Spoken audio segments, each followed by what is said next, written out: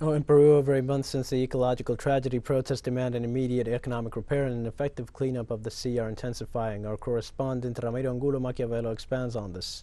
Nearly 2,000 members of the Artisanal Fishermen's Association of Aco a Pesca protested against Repsol because although it's been over a month since the oil spill, they feel robbed of their main work too and now demand the company to act responsibly in the face of the damage they have they should acknowledge liability because here people are in need. They have to pay electricity, water, and gas bills, school tuitions. We have unmet needs. The 200 soles are not enough for anything.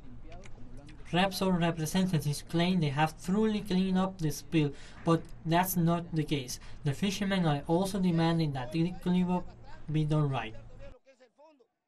They say that they have already cleaned up the waters, but they are lying. They have only removed the oil on the surface of the water.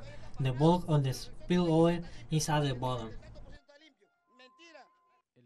The waters will be contained for the next 10 years, as, said by UN Express report that will hurt the new generation of fishermen.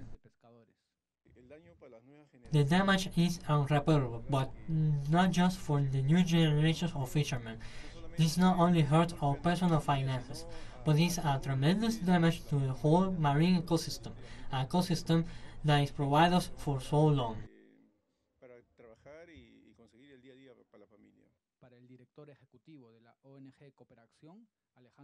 We need to strengthen environmental institutions, which basically means First, setting up surveillance and approval mechanisms for companies. Second, government contingency plan to set up when companies can't do their job.